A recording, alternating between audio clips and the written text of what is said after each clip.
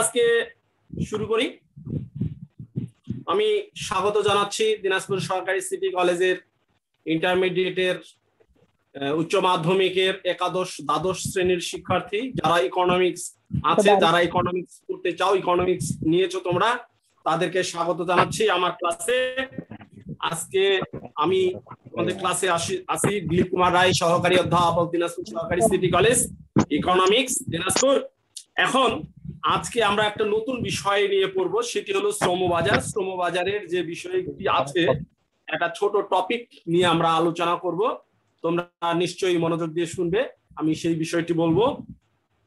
আমরা মজুরি দেখেছি, মজুরি আমরা পড়েছি, শুনেছি বিভিন্ন মানুষের কাছ থেকে সেই মজুরি। সেই মজুরিটাকে আসলে, মজুরিটা কি? আমরা এমনি করে জানি যে আমাদের বাড়িতে যখন কোনো লোক কাজ করে, তখন তাকে মজুরি দেই, তাই না?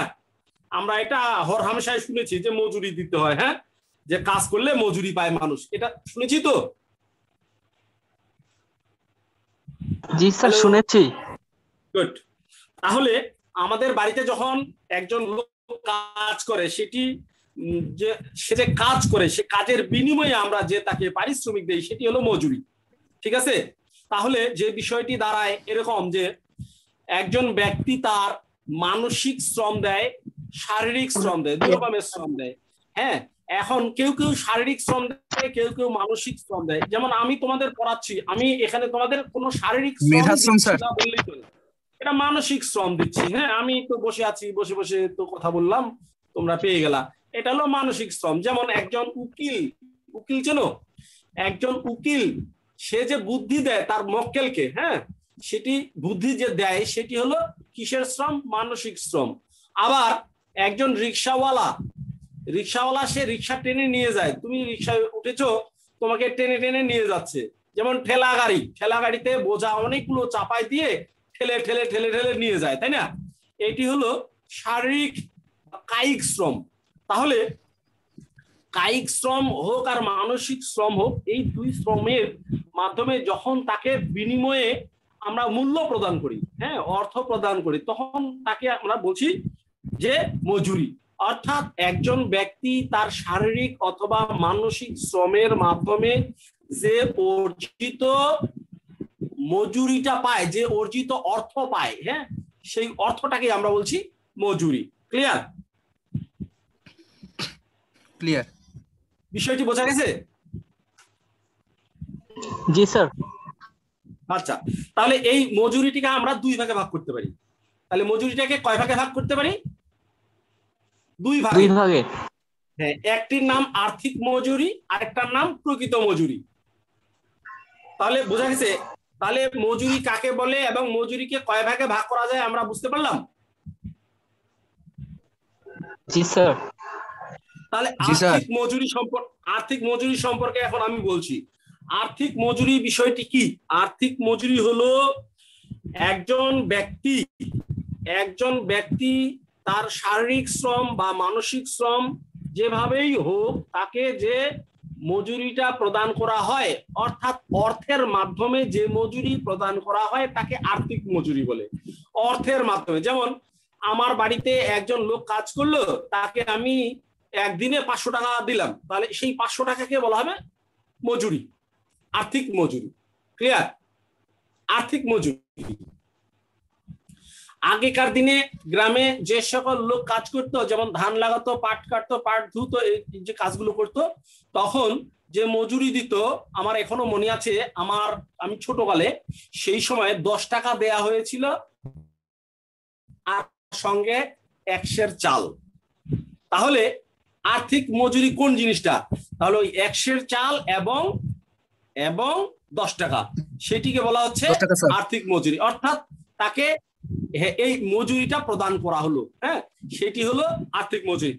এখন দেখো যে বিষয়গুলো আমরা বলছি, সেটি হলো, এখন আমরা যারা চাকুরি করি, তারা যে মজুরিটা পাই অর্থের মাধ্যমে, আমাদের ওখানে কি কি জিনিস থাকে? সেটি হলো মেডিকেল অ্যালাউন্স থাকে, বাড়ি ভাড়া থাকে হ্যাঁ? সেটি আমরা আর্থিক মজুরি পাই।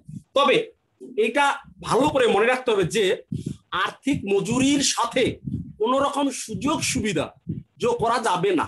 আর্থিক মজুরি যেটা সেটা শুধু আর্থিক মজুরি। এখানে কোনো রকম সুযোগ সুবিধা আসবে না।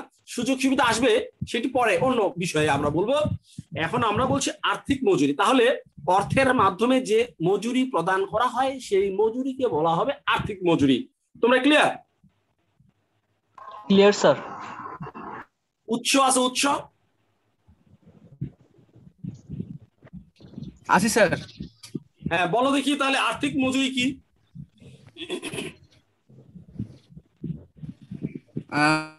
স্যার স্যার কোনো কাজের মাধ্যমে? স্যার কীভাবে যে স্যার অর্থের মাধ্যমে যে মজুরি প্রদান করা হয় স্যার। কাজ করলে তুমি তাকে টাকা দিবে না? জি স্যার। জি স্যার জি স্যার। যে টাকাটা বলতে দিচ্ছে সেটি মজুরি। সেটি আর্থিক জি স্যার জি স্যার। স্যার বুঝতে পারছি কিন্তু স্যার বলতে পারছি। টেক ইজি হ্যাঁ আমরা ইজি টেক করব ইজি ইজি কোন রকম আমরা পেচে যাব না ইজি সহজ সরল ভাবে যে একজন ব্যক্তি যখন কাজ করতেছে তাকে যে পরিমাণ টাকা আমরা দেই কাজের বিনিময়ে সেটি যে টাকাটা দিলাম সেটি হলো আমার মজুরি। ঠিক আছে? আচ্ছা এখন মজুরিটা কয়েক কয়েক ভাবে হয় যেমন আর্থিক মজুরিটা কয়েক ভাবে যেমন আমাদের এই যে গ্রামে গঞ্জে যারা কাজ করে একদিনের জন্য কাজ করে একদিন পরে আমরা টাকাটা দিয়েছি যেমন সকাল থেকে কাজ করল বিকেল পাঁচটায় কাজ শেষ তখন আমরা টাকা দিয়ে দিলাম। জি। হ্যাঁ? তাহলে সেটি হলো কি হিসাবে? দৈনিক। জি স্যার দৈনিক। দৈনিক। স্যার দৈনিক মজুরি স্যার। আবার আবার কোন জায়গায় আছে কোন জায়গায় আছে সাত দিন কাজ করে হ্যাঁ? সাত দিন কাজ করার পর টাকা দিয়ে দেয়। যেমন আমেরিকায়। আমেরিকায় কিন্তু সাত দিন পরে দিয়ে দেয় টাকা। সপ্তাহ শুরু হলো আর যেদিন সপ্তাহ শেষ সেদিন টাকা দিয়ে দিল। সাপ্তাহিক। একটা প্রশ্ন ছিল স্যার। কোনো কোনো এলাকায় দেখা যায় কোন হ্যাঁ? সাত দিন কাজ করে। সে মাসিক হ্যাঁ ওইটা যাচ্ছে ওটা পরে আগে এগুলো বুঝি। ওকে স্যার দিন বেসিসে দেয় দিন। একদিন কাজ করল একদিনের বেতন দিয়ে দিল। হয় কি না? জি স্যার তাহলে যদি কেউ সাত দিন কাজ করে সাত দিনের টাকা পেয়ে গেল। জি। আবার কেউ পনেরো দিন কাজ করল পনেরো দিনের টাকা পেয়ে গেল। জি। জি স্যার আবার কেউ এক মাস কাজ করল এক মাসের টাকা পেল এই তো? জি স্যার এই তো স্যার। স্যার। স্যার, আচ্ছা। প্রশ্ন আমার একটা আছে। হ্যাঁ বলো। স্যার যেটা এক মাসে কাজ করা হয় ওটাকে আমরা বলি মাসিক। আর যেটা সাত দিনের সেটা সাপ্তাহিক। আর স্যার পনেরো দিনেরটা কি বলব? পাক্ষিক পাক্ষিক। এক পক্ষ এটা পাক্ষিক বলা হয়। Wow. জি স্যার। তাহলে যে বিষয়গুলো হলো যে আবার বছরেও দেওয়া হয় এক বছর কাজ করার পরে। এটা জানো তোমরা? জি স্যার। কিন্তু তাহলে স্যার ওইটা ওইটাকে কি বলা হবে? এই যে মজুরি আর্থিক মজুরি সেটি আর্থিক মজুরির বিভিন্ন ভাগ। আমি ওগুলোই বলতেছি সেটি হলো দেখো যেমন আগেকার দিনে গ্রামে এক বছরের জন্য একজন লোক কাজ করত। এটা কি শুনেছো তোমরা? জি স্যার আমাদের এদিকে আছে স্যার। ওটাকে বছর মারি বলে বছর মারি জি। হ্যাঁ? জি স্যার এই এই জিনিসগুলোই বোঝাচ্ছি হ্যাঁ? আর্থিক মজুরির ক্ষেত্রে এই জিনিসগুলো বোঝাচ্ছি যে হলো একদিনের জন্য কাজ করে আবার সাত দিনের জন্য হতে পারে পনেরো দিনের জন্য হতে পারে বেতন আবার এক মাসেও হতে পারে আবার এক বছরে হতে পারে। তাহলে সেটি আমার কি বলছি? আর্থিক মজুরি। অর্থের বিনিময়ে যে মজুরি প্রদান করা হয় সেটিকে আমরা বলছি আর্থিক মজুরি। Clear clear sir sir. আবার এক ঘণ্টার জন্য হতে পারে না? যে আমি একটা রিক্সা ঠিক করলাম আমাকে এক ঘণ্টা ঘুরাতে হবে। জি স্যার হ্যাঁ হবে। স্যার হবে। তাহলে স্যার কি হ্যাঁ। বা তিন ঘণ্টা আমি কন্টাক্ট করলাম একটা অটো হ্যাঁ যে আমাকে তিন ঘণ্টা ঘুরাই নিয়ে আসবে। সেটাও হয়। জি স্যার তা- ঘণ্টার ভিত্তিতে হয়। আবার তোমরা ইদানিং দেখা যাচ্ছে তোমরা ইদানিং দেখা যাচ্ছে মোবাইলে মিনিট কিনতেছো তাই না? জি। তিনশো মিনিট কিনলা। হ্যাঁ? তিনশো মিনিট কিনলে না? কত টাকা দিয়ে? জি স্যার। চারশো টাকা দিয়ে ওই যে যা হোক এই তো আর্থিক মজুরি ক্লিয়ার তাহলে আর্থিক মজুরির বৈশিষ্ট্য কিছু আছে। সেটি হলো দেখো কোন নির্দিষ্ট সময় কোন নির্দিষ্ট সময়ে কোন কাজের ভিত্তিতে যে কোনো কাজ করব, যে কোনো কাজ সেটা নির্দিষ্ট একটা সময় থাকবে। তার ভিত্তিতে যখন মজুরি প্রদান করা হয়, তাকে বলা হবে আর্থিক মজুরি। তাই না? আবার আর্থিক মজুরির মধ্যে বেতন ছাড়া, মূল বেতন ছাড়া বিভিন্ন ভাতা অন্তর্ভুক্ত হতে পারে।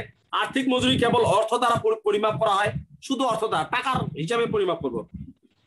আচ্ছা এখন যদি দাম স্তর বাড়ে, দাম স্তর বোঝো। বাজারে চাল, ডাল, আলু, পটল, এগুলোর দাম যদি বাড়ে তাহলে আর্থিক মজুরি বাড়তেও পারে নাও বাড়তে পারে। মানে তোমাকে নিয়োগ করা হয়েছে যে তোমাকে পার ডে তিনশো টাকা দেওয়া হবে। তোমাকে এখন দাম বাড়ছে তাও তোমাকে তিনশো টাকা দাম কমছে তাও তোমাকে তিনশো টাকা। হয় কি না আবার দাম বাড়ছে যেহেতু আলু পটলের দাম বাড়ছে তোমাকে তিনশো টাকা সাড়ে তিনশো দিতেও পারে। এইটি। অর্থাৎ আর্থিক মজুরি বাজারে যে দাম স্তর সে দাম স্তরের উপর নির্ভর করবে না। কাজের প্রতি শ্রমিকের আগ্রহ আর্থিক মজুরির উপর কম নির্ভর করে। শ্রমিকরা অর্থনৈতিক কল্যাণ, জীবনযাত্রার মান কেবলমাত্র আর্থিক মজুরির উপর নির্ভর করে না। এগুলো হলো বৈশিষ্ট্য। তাহলে আর্থিক মজুরি অর্থের হিসাবে দেওয়া হবে বলে তা পরিমাপ করা সহজ। যেমন একদিন কাজ করল পাঁচশো টাকা পেল। একদিন কাজ করল, তিনশো টাকা পেল। তাহলে এটা শুধুমাত্র যে টাকার উপর নির্ভর করে, সেজন্য এটা পরিমাপ করা সহজ। ইজি হিসাব। তাহলে মজুরি নির্ধারণে আর্থিক মজুরির গুরুত্ব কম। এই তো? তাহলে আমরা মোটামুটি আর্থিক মজুরিটা বুঝতে পারলাম? জি স্যার। হ্যাঁ এবার কিন্তু একটু কঠিন হবে হ্যাঁ? একটু কঠিন একটু ভিতরে যেতে হবে। সেটি হলো এরকম প্রকৃত মজুরি। স্যার কত পৃষ্ঠা একটু বলেন তো স্যার কত অধ্যায়? বই তো এটা হলো শ্রমবাজার ফার্স্ট পার্ট শেষের দিকে দেখো। ও আচ্ছা স্যার। শ্রমবাজার। শ্রমবাজারের তাহলে শেষের এখন আমরা পড়ব হলো প্রকৃত মজুরি। প্রকৃত মজুরি পড়ার আগে এখন আমাকে জানতে হবে দাম স্তর কি। হুম প্রাইস লেভেলটা কি। তাহলে প্রাইস লেভেল যদি আমি না জানি তাহলে কিন্তু প্রকৃত মজুরি আমি বের করতে পারব না। তাহলে প্রকৃত মজুরি কোন বিষয়টি সেটি আমরা দেখে নেই। প্রকৃত মজুরি এবং প্রকৃত মজুরির সঙ্গে আরও কিছু বিষয় যোগ করতে হবে। কিছু বিষয় আছে সেগুলো একটু মন খোলসা ভাবে হ্যাঁ? ইজি ভাবে শুনতে হবে জানতে হবে বুঝতে হবে। যেমন দেখো দাম স্তর। দাম স্তর দাম আমরা জানি সেটি হলো আলুর দাম পটলের দাম চালের দাম তাই না? যখন একটা দ্রব্যের দাম আমরা নির্ধারণ করব একটা তখন সেটাকে দাম বলব। আর যখন বাজারে সমগ্র দাম সমগ্র সবগুলো আলু পটল থেকে শুরু করে যা কিছু আছে সবার দাম যখন হিসাব করব তখন সেটাকে বলা হবে দাম স্তর। বুঝা গেছে? জি স্যার। যখন একটি দ্রব্য হবে তখন আমরা বলব দাম। আর যখন বাজারে সবগুলো দ্রব্য হবে সবগুলো দ্রব্য তখন বলব দাম স্তর। দাম স্তর। হ্যাঁ। এখন তোমরা বলো যে আলুর দাম কমছে তার মানে শুধু আলুর দাম কমছে অথবা দাম বাড়ছে আলুর হ্যাঁ? শুধু আলুর দাম বাড়ছে আর অন্য কোনো দাম বাড়ে নাই। আর যখন তোমাকে বলা হবে দাম স্তর বেড়েছে তার মানে আলু চাল পটল। সব দাম বাড়ছে হ্যাঁ। বোঝা গেছে জিনিসটা? এখন আমরা বলব যে এই যে প্রকৃত মজুরির কথা বলছি সেই প্রকৃত মজুরিটা ওই দাম স্তরের উপর নির্ভর করে। তাহলে এখন তুমি বলো গত বছর ছিল বিশ টাকা চালের কেজি। গত বছরে কি ছিল? বিশ টাকা চালের কেজি। অর্থাৎ বিশ টাকা দিলে আমি এক কেজি চাল পাই। জি। এবছর আমি যদি ধরি চল্লিশ টাকা চালের কেজি। তার মানেটা কি দাঁড়াচ্ছে? দাম বেড়েছে। শুধু দাম বাড়লো স্যার। গত বছর বিশ টাকা গত বছর বিশ টাকায় আমি এক কেজি চাল পাই। এবছর চল্লিশ টাকা কেজি। তার মানে এবছর বিশ টাকা যদি আমি দেই কত চাল পাবো? Half KG? Half KG. তাহলে আমি যে টাকাটা দিলাম তাহলে গত বছরও বিশ টাকা দিয়েছি এবছরও বিশ টাকা দিয়েছি। তাহলে গত বছর আমি পেয়েছি এক কেজি চাল আর এবছর বিশ টাকা দিলে আমি পাচ্ছি হাফ কেজি চাল। তাহলে আমার যে টাকাটা সেই টাকাটার পাওয়ার কি বাড়ছে না কমছে? কমছে। টাকার পাওয়ারটা কমে গেছে হ্যাঁ? গত- বছর বিশ টাকায় আমি এক কেজি এক কেজি চাল পেয়েছি। এবার আমি হাফ কেজি চাল পাচ্ছি। অর্থাৎ টাকাটা যে আমার বিশ টাকা সেই বিশ টাকার পাওয়ার কমে গেছে। হ্যাঁ? জি। বিশ টাকার পাওয়ার কমে গেছে। অর্থাৎ পারচেজিং পাওয়ারটা কমে গেছে। আমি যে ক্রয় করতে যাচ্ছি আমার ক্রয় ক্ষমতা কমে গেছে। এই তো? এখন এখন উৎস চাকুরি করে ঢাকায়। হুম? তাহলে বেতন পায় দশ হাজার টাকা। দশ হাজার বেতন। আর উৎসর বেতন দশ হাজার টাকা ঢাকায়। আর এর সাথে আমাদের আরেকজন স্টুডেন্ট আরেকজন স্টুডেন্ট ওমর ফারুক সে চাকরি করে দশ হাজার টাকা বেতন দিনাজপুরে। এখন তোমরা বলো কার ভালো দিন যাবে। স্যার ওমর ফারুকের স্যার। কেন? কেন? ঢাকা থেকে দিনাজপুরের সবজি আমেস্তর কম। দাম স্তর ভালো। হ্যাঁ। কম। হ্যাঁ। দিনাজপুরের তবে- দাম স্তর কম। সেজন্য কি হবে ঘটনা? এর যে খরচ হবে হ্যাঁ এর যে খরচ হবে খরচ হওয়ার পরে দেখা যাবে যে পাঁচ হাজার টাকা অতিরিক্ত আছে এখনও হ্যাঁ? জি জি। উৎস যে ঢাকায় চাকরি করে ওর সব টাকায় খরচ হয়ে যাবে এই তো? জি স্যার জি স্যার। এখন আমরা বলব যে প্রকৃত আয় তাহলে কার বেশি? ওমর ফারুক। ওমর ফারুকের স্যার। কিন্তু আর্থিক আর্থিক মজুরি দুজনের সমান? জি স্যার দুইজনে তো সমান। দশ হাজার দশ হাজার করে পাচ্ছি। দশ হাজার এও দশ হাজার হয় দশ হাজার। তাহলে এখন দেখো আর্থিক মজুরি সমান হইলেও প্রকৃত মজুরি কি কম বেশি হচ্ছে? বুঝা পাইছো? জি স্যার। বুঝছি। বুঝা- যাচ্ছে? এখন বুঝা যাচ্ছে? জি স্যার বোঝা যাচ্ছে। তাহলে এবার আসো আমরা বলব প্রকৃত মজুরি কাকে বলে? প্রকৃত মজুরি হবে আর্থিক মজুরি যা থাকবে তার সঙ্গে যোগ। যোগ হবে। তার সঙ্গে আরও যোগ হবে কি? অন্যান্য সুযোগ সুবিধা। অন্যান্য সুযোগ সুবিধা। কেমন স্যার আরেকবার প্রথম থেকেই বলেন স্যার লিখে নিতেছি তো স্যার। বিষয় হলো দেখো আগে বোঝো ক্লিয়ার বোঝো। লিখতে তো পারবা লিখতে পারলে তো হবে না। লিখলে তো তোমার মন থাকবে না এখানে। আমার কথা. যখন তুমি শুনবা বুঝতে পারবা তখন তুমি এরকম অনেক লিখতে পারবা। আর আচ্ছা যদি তুমি লেখো ওই লেখাটা তখন তোমাকে মুখস্থ করতে হবে। আর মুখস্থ কতদিন থাকবে? তুমি এসএসসি পাস করেছ। এসএসসি কোনো কোশ্চেন মুখস্থ আছে তোমার? না স্যার এসএসসির কোনো কোশ্চেন মুখস্থ আছে?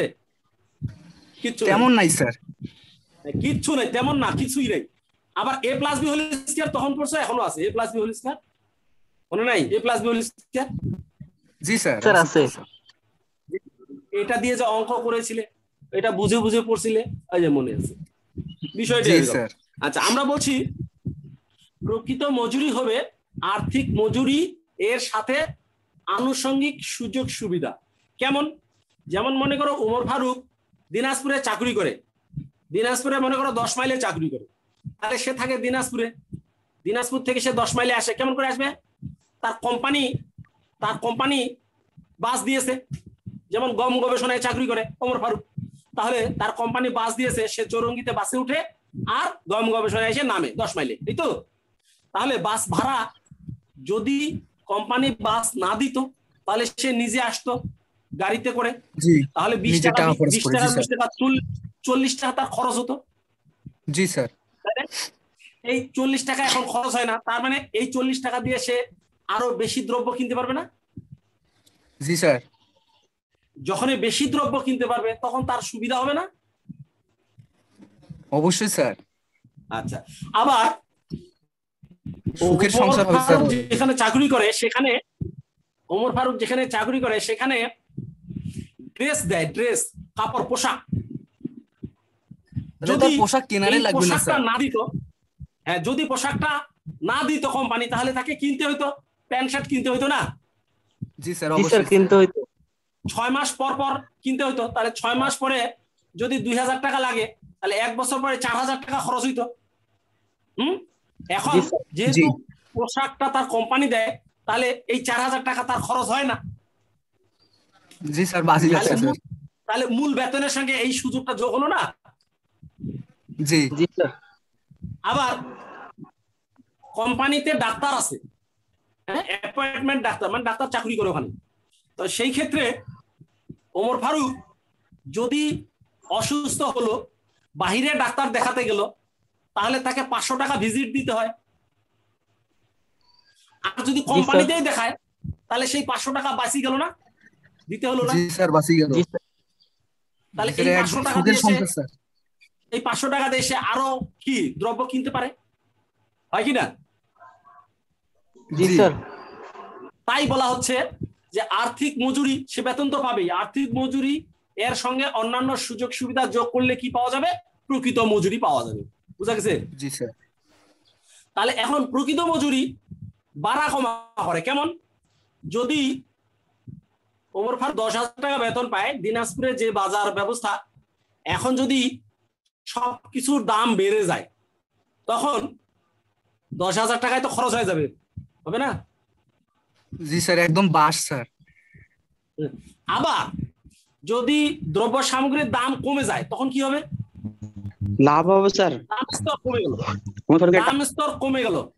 মনে করো দুই হাজার টাকায় তার খরচ শেষ মাসের খরচ। তাহলে আট হাজার টাকা অতিরিক্ত থাকল। তাহলে প্রকৃত মজুরিটা বাড়লো। জি। বোঝা গেছে জিনিসটা? জি তাহলে স্যার বুঝছি মজুরি বাড়লো। তাহলে প্রকৃত মজুরিটা কার উপর নির্ভর করে? দাম স্তরের উপর নির্ভর করে। হ্যাঁ দাম স্তরের উপর প্রকৃত মজুরি নির্ভর করে। Clear sir. এখন তোমাদের ওখানে আছে দেখো যে প্রকৃত মজুরি প্রকৃত মজুরি কোন কোন বিষয়ের উপর নির্ভর করে কোন কোন বিষয়? সেটি হলো যেমন দাম স্তর প্রথমেই আছে দাম স্তর। যদি আর্থিক মজুরির পরিমাণ স্থির থাকে তাহলে দাম স্তর পরিবর্তনের ফলে প্রকৃত মজুরি কম বা বেশি হতে পারে। প্রকৃত মজুরি কি হবে? কম বা বেশি হবে। যদি দ্রব্যের দাম বাড়ে তাহলে অর্থের ক্রয় ক্ষমতা হ্রাস পায়। আর দ্রব্যের দাম যদি কমে তাহলে ক্রয় ক্ষমতা বৃদ্ধি পায়। ঠিক আছে? কাজের প্রকৃতি। যে কাজটি আরামদায়ক আরামদায়ক, মর্যাদাকর, ঝুঁকিহীন, সেখানে শ্রমিকের মানসিক শান্তি বেশি থাকে।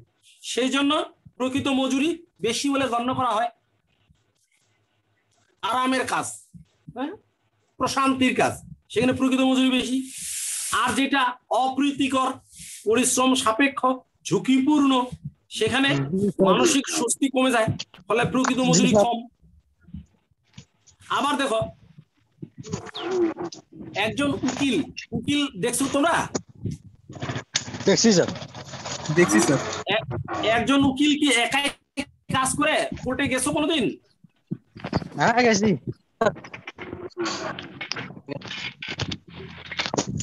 অপরাধী ছিল নাকি? একজন সিনিয়র উকিল থাকেন হ্যাঁ? সেই সেই সিনিয়র উকিলের সঙ্গে চার পাঁচজন জুনিয়র উকিল থাকে। এবং চার পাঁচজন ক্লার্ক থাকে। কেমন থাকে। বুঝে গেছে তাহলে ওই যে সিনিয়র উকিল উনি যদি দশ হাজার টাকা পার ডে ইনকাম করেন তাহলে সবাইকে দিতে হবে না টাকা? জি। দিয়ে কম থাকবে না অল্প থাকবে না? জি স্যার থাকবে। তাহলে ওই উকিলের আর্থিক মজুরি বেশি হলেও প্রকৃত মজুরি কম। জি তোমরা দাঁতের ডাক্তারের কাছে গেছো? ডাক্তার যায়নি। দাঁতের ডাক্তার। কেউ যাও নাই? স্যার আমি গেছিলাম স্যার। চেয়ার দেখছ ওখানে চেয়ারটা কেমন সুন্দর আরাম না? জি স্যার জি স্যার। হ্যাঁ? জি চেয়ারটা আবার চেয়ারটা আবার উপরে উঠে আবার নিচে নামে হ্যাঁ? জি জি স্যার। ওই পেশেন্ট যেটাতে থাকে। জি জি স্যার। তাহলে ওই চেয়ারটার দাম কেমন হবে? কম না বেশি? অবশ্যই বেশি। স্যার বেশি হবে স্যার। চার পাঁচ লাখ টাকা ওই চেয়ারটার দাম। চার থেকে পাঁচ লাখ টাকা। সর্বনাশ। চেয়ারটা দেখছ তো যে দেখছ সে জানে। আর যে জি স্যার, দেখছি স্যার। দেখে নাই সে তো মনে করে আচ্ছা। স্যার শুয়েও আসছিলাম স্যার। হয়তো ওখানে তো শোয়ায়। আচ্ছা এখন বিষয় হলো দাঁতের যে ডাক্তার সে কি একটা রুমেই সবকিছু না দুই তিনটা রুম আছে? স্যার আমি যেখানে গেছিলাম সেখানে স্যার একটা রুমেই স্যার। এখন প্রথমে যায় দেখবা যে রিসিপশন একটা আছে রিসিপশন জি জি জি। রিসিপশনে আবার টিভি আছে। হ্যাঁ? জি। ভেতরে আছে নার্স একটা রুমে আছে নার্স স্যার ওখানে চেয়ার আছে দুটো বা তিনটা। আবার রুমের ভিতরে ভিতরে আরেকটা রুম সেখানে ডাক্তার বসে। জি। আবার নার্স আছে আবার বয় আছে ওয়ার্ড বয় তাহলে আবার বাড়ি ভাড়া কত টাকা খরচ ডাক্তারের? অনেক টাকা খরচ। সে যদি ইনকাম করে তিরিশ হাজার টাকা মাসে তাহলে প্রায় তো পঁচিশ হাজার টাকা তো তার দিতেই হয় বাইরে চলে যায় টাকা। জি। তাহলে তার থাকে কত? পাঁচ হাজার? পাঁচ হাজার এখন চিন্তা করো তাহলে আর্থিক মজুরি কিন্তু বেশি হ্যাঁ? এই যে ডাক্তারের দাঁতের ডাক্তার আর্থিক মজুরি বেশি প্রকৃত মজুরি কম। মানে এই নার্সকে টাকা দাও ওই নার্সকে টাকা দাও ওয়ার্ড বয়কে টাকা দাও বাড়ি ভাড়া দাও ওই চেয়ারটা স্যার। যন্ত্রপাতি কিনেছে তাই না? স্যার জীব সেবা করতেছি স্যার। তোমাকে যেটা বোঝাচ্ছি সেটা বুঝতে হবে। ক্লিয়ার কনসেপ্ট ক্লিয়ার জি স্যার বুঝছি স্যার। আবার চিন্তা করে দেখো একজন চায়ের দোকান। মুন্সিপাড়া গেছো? মুন্সিপাড়া? স্যার গেছি। নিমতলায় একটা চায়ের দোকান আছে। চায়ের কাপ দশ টাকা। নিমতলায়। এই মন্দিরের দক্ষিণ পাশে সাথেই মাঝখানে। দেখছি। মন্দিরটা দক্ষিণ পাশে। হ্যাঁ। চায়ের কাপ দশ টাকা। এখন সে নিজে চা বানায় নিজেই দেয় নিজেই সবকিছু। হ্যাঁ? আবার কিছু পিঠার দোকান আছে দেখবা। মানে হাজবেন্ড পিঠা বানাচ্ছে স্ত্রী যোগান দিচ্ছে আর ছেলে টাকা নিচ্ছে। তাহলে ওরাই সব না? ওদের আর্থিক মজুরি কম হলেও প্রকৃত মজুরি বেশি। বেশি। প্রকৃত মজুরি বেশি। কারণ ওদেরকে টাকা কাউকে দিতে হয় না।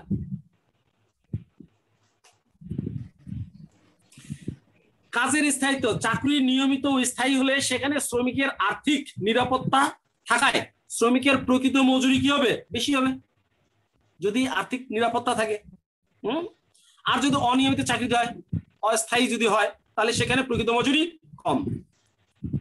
চেয়ারম্যান দেখছ তোমরা? চেয়ারম্যান জি স্যার। চেয়ারম্যানের বেতন কত? জানো? স্যার বেতন তো দেখিনি স্যার। বেতন কম। সাত আট হাজার হয়ে বেতন কম। জি। কিন্তু একজন চেয়ারম্যানের যে কোনো জায়গায় গেলে চেয়ার আগায় দিবে না তুমি? জি স্যার সম্মান স্যার। সম্মান বেশি। ওই জন্য একজন চেয়ারম্যানের কি? প্রকৃত প্রকৃত। মজুরি বেশি। বেশি। আর্থিক মজুরি কম কিন্তু প্রকৃত মজুরি বেশি। সব জায়গায় সে সম্মান পায়। সুইপার দেখছ? সুইপার? জি স্যার। একটা কাজের জন্য মিনিমাম তিন হাজার টাকা নেয়। দিনে তিনটা থেকে চারটা কাজ করতে পারে তারা। তাহলে একটা কাজে যদি তিন হাজার নেয় চারটা কাজ করলে তিন চারে বারো হাজার। এক দিনে। দিনে প্রকৃত মূল্য বেশি স্যার। এক দিনে স্যার তাহলে আর্থিক মজুরি বেশি কিন্তু কাজটা নোংরা তুমি তো করতে পারবা না পারবা? না স্যার না স্যার। ভুল হয়ে গেল রে। কাজটা নোংরা। জি, স্যার। সেজন্য সেই জন্য তাদের তো শান্তি নাই। ওই জন্য প্রকৃত মজুরি কম। আর্থিক মজুরি বেশি প্রকৃত মজুরি কম। জি স্যার জি স্যার জি স্যার। বুঝছি স্যার। অতিরিক্ত আয় অতিরিক্ত আয় বুঝো? যেখানে অতিরিক্ত আয় থাকবে সেখানে প্রকৃত মজুরি কি হবে? অতিরিক্ত আয় হলে?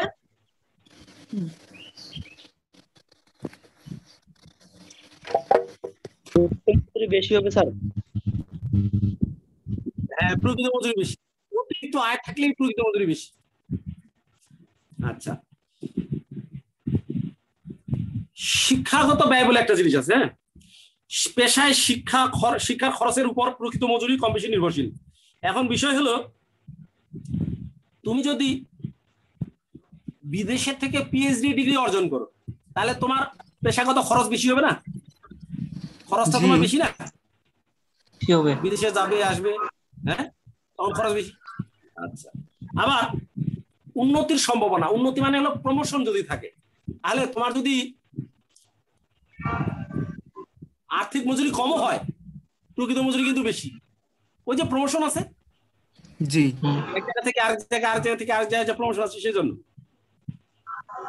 কর্মস্থলের একটা পরিবেশের ব্যাপার আছে। যদি পরিবেশ ভালো হয় আর্থিক মজুরি কম হলে প্রকৃত মজুরি বেশি। সামাজিক নিরাপত্তার একটা ব্যাপার আছে। সরকারি চাকরি আর বেসরকারি চাকরি দুটো দুই রকমের না? দুই রকমের। আচ্ছা তাহলে সামাজিক নিরাপত্তা কোথায়? সরকারি চাকরি করলে সামাজিক নিরাপত্তা থাকে হ্যাঁ? জি জি। আর প্রাইভেট চাকরি করলে সামাজিক নিরাপত্তা নাই হুম? জি। তো সেজন্য সরকারি চাকরি করলে যে চাকরি করবে তার হলো সামাজিক নিরাপত্তা আছে বিধায় তার প্রকৃত মজুরি বেশি। আর্থিক মজুরি কম হলেও প্রকৃত মজুরি বেশি। আর প্রাইভেট জবে প্রকৃত যদি আর্থিক মজুরি বেশিও হয় প্রকৃত মজুরি কম। বুঝা গেছে? জি তাহলে। তোমরা যে বিষয়টি পড়বে সেটি হলো এরকম। আজকে তাহলে মজুরি কাকে বলে? আর্থিক মজুরি ও প্রকৃত মজুরি কাকে বলে? আর্থিক মজুরির প্রকৃত মজুরির মধ্যে পার্থক্য। এর সাথে থাকবে প্রকৃত মজুরি। কি কি বিষয়ের উপর নির্ভর করে?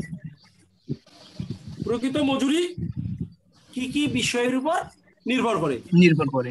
হ্যাঁ তোমরা কি বুঝতে পেরেছ? আমি কোন কোন বিষয়ে বলতেছি তোমরা এটা এটা কি বুঝেছ? বুঝেছি।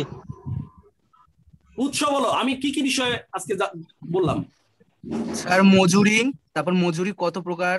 আর্থিক মজুরি কাকে বলে? প্রকৃত মজুরি সম্পর্কে স্যার বললেন স্যার। কা- কাকে বলে? আর জি স্যার। আর্থিক আর মজুরি, হচ্ছে প্রকৃত মজুরির মধ্যে পার্থক্য? স্যার। আর প্রকৃত মজুরি কি কি বিষয়ের উপর নির্ভর করে? নির্ভর করে স্যার। দাম স্তর স্যার। তাহলে এই যে- এই যে বিষয়টি আমি বোঝালাম সেটি তোমরা একটু বাসায় দেখবা। বাসায় দেখলে তোমার মনের ভিতর ক্লিয়ার হবে। তারপরেও যদি মনে কোনো কোশ্চিন থাকে তাহলে সামনের দিনে যেদিন ক্লাস নেব সেদিন তোমরা আমাকে বলবে আমি ওটা ক্লিয়ার করব ঠিক আছে? ওকে স্যার আজকের মতো এখানেই শেষ করছি। তোমাদের ধন্যবাদ। আর বাংলাদেশের যে সিচুয়েশন তোমরা বাড়ি থেকে বের হবে না। এখন লকডাউন চলছে। আর বিশ মিনিট পর পর হাত ধুবে। তোমরা সুস্থ থাকবে। আর মানুষকে সুস্থ রাখতে সহায়তা করবে।